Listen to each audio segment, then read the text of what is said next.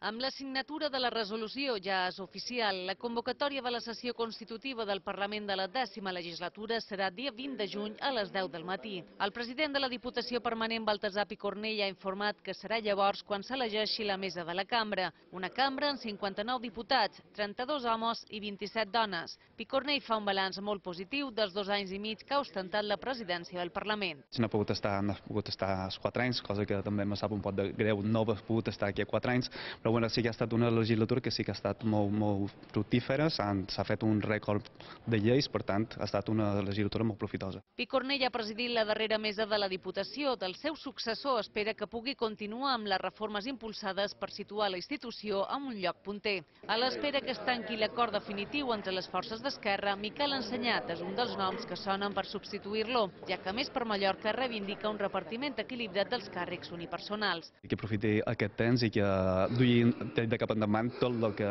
s'ha quedat pendent aquí, aquí a la casa, que, que vagi de cap al futur, que eh, s'implanti l'administració electrònica, el que són les videoconferències. Després de la Constitució del Parlament s'obre un termini de 15 dies per a que els partits polítics proposin el candidat a presidir el govern. L'elecció d'Armengol serà sotmesa a una primera votació que necessita de la majoria absoluta de la cambra per sortir endavant.